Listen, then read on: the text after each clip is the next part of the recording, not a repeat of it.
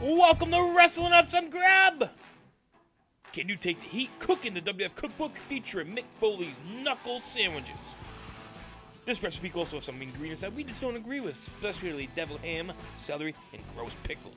So, we change it up a bit. A little bit of Greek pepperoni, vegan mayonnaise, vegan cream cheese, Dave's Killer Bread, two different kinds.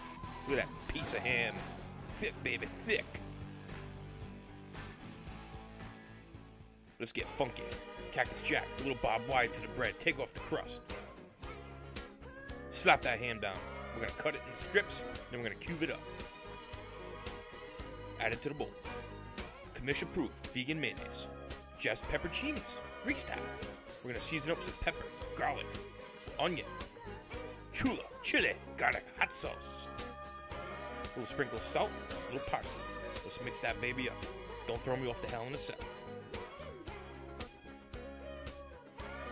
Have a nice day. Let's get our bread down. We're gonna add our deviled ham to it.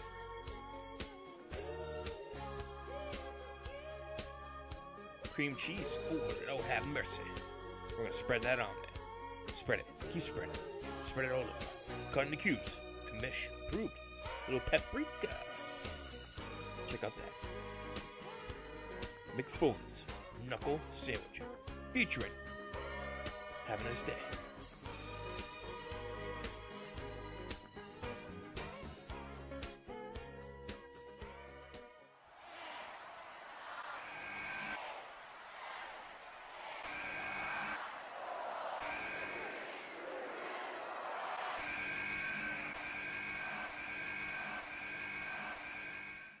Welcome to Wrestling Up Some Grubs bonus scene where we take a bite out of dish that we made in the Can You Take the Heat Cooking the WWF Cookbook with today's special Mick Foley's Knuckle Sandwich. Along with this sandwich, we have Mick Foley's New York Times best-selling book, Have a Nice Day.